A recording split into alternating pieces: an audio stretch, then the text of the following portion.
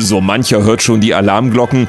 In der evangelischen Kirche in Hessen und Nassau könnte bis 2025 jede vierte Pfarrstelle gestrichen werden. So will es ein neues Gesetz, worüber jetzt die evangelische Kirche in Hessen und Nassau diskutiert. Ich befürchte, wenn zu stark gekürzt wird, dass Ehrenamtliche überfordert sind, dass Gemeindearbeit ähm, weniger wird, dass manches auch zusammenbricht.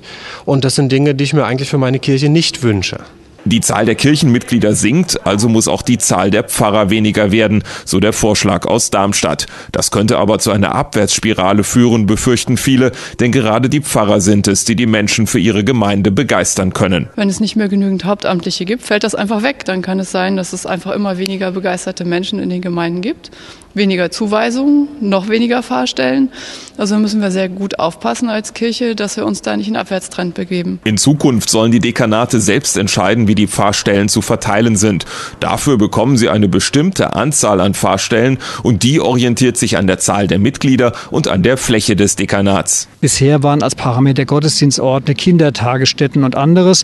Und da gab es dann immer wieder Ärger. Da kam eine Gemeinde und sagt, wir haben zwar keine Kita, aber wir haben ein Altersheim, da machen wir ganz viel. Warum ist das kein Parameter? Andere haben gesagt, ah, wir haben da ein Altersheim, da machen wir viermal im Jahr Gottesdienst. Das ist doch auch ein Gottesdienstort. Und da hat man also versucht zu handeln mit der Kirchenverwaltung und das gab dann immer wieder Frust, wenn das nicht ging. Die Parameter waren einfach nicht wirklich plausibel. Für das Dekanat Dreieich in Langen hieße das, neu darüber nachdenken, wie die Fahrstellen zu verteilen sind. Ich glaube, äh, dass dieses neue Fahrstellengesetz uns neue Impulse geben kann der Kooperation. Also dass äh, Gemeinden äh, überlegen, können wir nicht mit der Nachbargemeinde äh, stärker zusammenarbeiten, bis hin äh, auch, äh, dass man äh, zusammengeht. Trotzdem haben viele Gemeinden Angst, wenn es weniger Pfarrer gibt, leiden die Ehrenamtlichen.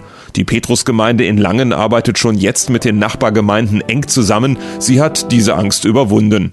Die Kirchenvorstände waren am Anfang ein bisschen zögerlich, weil Fusion hört man nicht so gern und denkt dann eher, da wird uns was weggenommen und merken aber auch, da entsteht ja auch ganz Neues. So erlebt das auch die Stadtkirchengemeinde. Wenn Gemeinden zusammenarbeiten, kann das die Ehrenamtlichen sogar entlasten. Wir gucken, wo jede Gemeinde ihre Stärken hat. Stärken der Mitarbeiter, Stärken der Gebäude, Stärken der Ehrenamtlichen, wo sich was gut anbieten lässt. Wir können Verwaltungsoverhead reduzieren. Wenn wir nur noch einen statt vier Kirchenvorstände haben, müssen wir nicht mehrfach entscheiden. Wir können das in einem Rutsch tun.